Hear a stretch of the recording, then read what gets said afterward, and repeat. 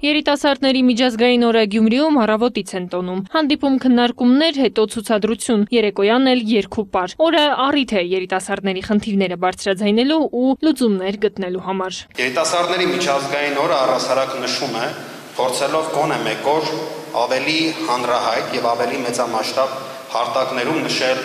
երիտասարդների դերի կարևորության մասին։ Առասարակ պետականաշինության կառավարման ոլորտում երիտասարդակենտրոն մոտեցման եւ նորանոր փոփոխությունների բերելուն։ Իսկ մենք լավ գիտենք, որ երիտասարդները իրենք նոր ձևով մտածող, լայնախոհ, կրեատիվ, ստեղծարար անձիկ են։ Ուզում եմ որ յուրաքանչյուրը ձեր մեջ զգաք այդ ուժը, որ ունեք այն գործիքները, բոլոր կառույցների միջոցով ձեզ տրամադրված, որովհետեւ կարողանաք ստեղծել մի արժեք, որը որ հպարտորեն կապրեք մեր հողի վրա, որը որ կօգտագործեք հետագայում ինչ-որ բան փոխանցելու համար։ Էքսպո տոնավաճառում ուսումնական հաստատությունների եւ ընկերությունների ներկայացուցիչներն են դիտակետում երիտասարդների կրթական ու աշխատանքային հնարավորություններն են տեղի է ունենում էքսպո տոնավաճառ, որտեղ ներկայացված են տարբեր կրթական կազմակերպություններ եւ տարբեր ընկերություններ, ովքեր ներկայացնում են երիտասարդներին իրենց արկա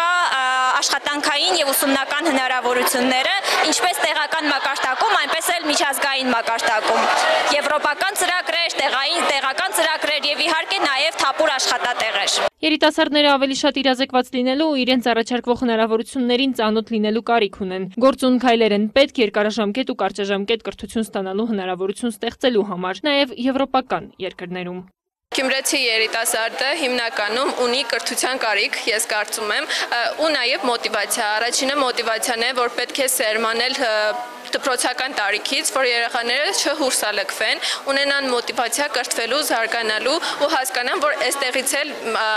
on-line միջավայրը, ինտերնետը, համացանցի այդ հնարավորությունը շատ մեծ շրջանակ է, որ իրանք կարողանան ինքնուրույն ինքնակրթվեն։ Բարձր տրամադրություն, դրական լիցքեր, ծանոթություններ տարբեր ոլորտների մասնագետների ու հյուրերի հետ։ Տոնական օրվա ոչ ֆորմալ մասն ավարտվեց։ Ամփոփումը երեկոյան է, համերգային ծրագրով։ Տիգրանոյ Գուրգինյան, Խան Հովանիսյան, Էպիկենտրոն։